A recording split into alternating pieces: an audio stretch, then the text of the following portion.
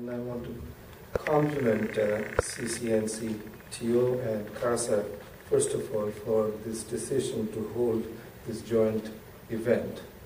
Uh, this joint celebration, for me, recognizes that the respective heritage of Asian and South Asian peoples are deeply intertwined, and the histories of the two communities in Canada contain many similar experiences of adversity, resistance, and assertion. These shared experiences have had a shaping impact on the discourse of multiculturalism, human rights, equity, inclusion, and anti-racism in this country. Indeed, uh, on what Canada is today.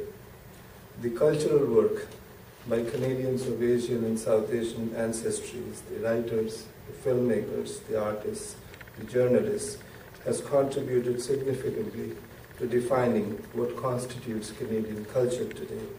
They are writing and performing the story of contemporary Canada. And now, with Asians and South Asians, as you've heard, contributing, constituting the major portion of immigrants to Canada and countries of those regions emerging as key partners of Canada in trade and commerce, Canadians of these ancestries are an important bridge to Canada's prosperity. All of these are, or should be, an integral component of the Canadian fabric. Certainly, without these stories and histories of struggle, persistence, strength, and triumph, the narrative of Toronto and of Canada would be incomplete.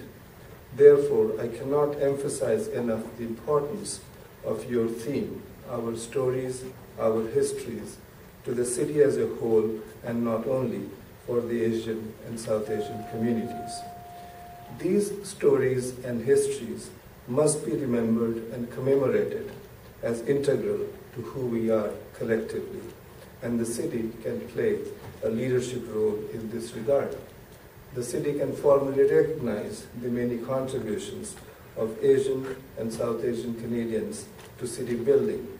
Its different community councils can work with the agencies and organizations in their communities to host appropriate activities to honor the part played by members of our communities to enrich the cultural, social, and economic lives in the neighborhoods of Toronto.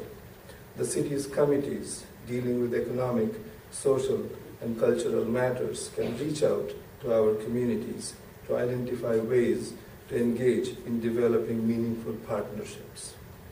The city can also make a commitment to working collaboratively with our organizations and its various agencies, boards, and commissions, one of which I happen to chair the police board, towards achieving greater inclusion of Asian and South Asian Canadian communities.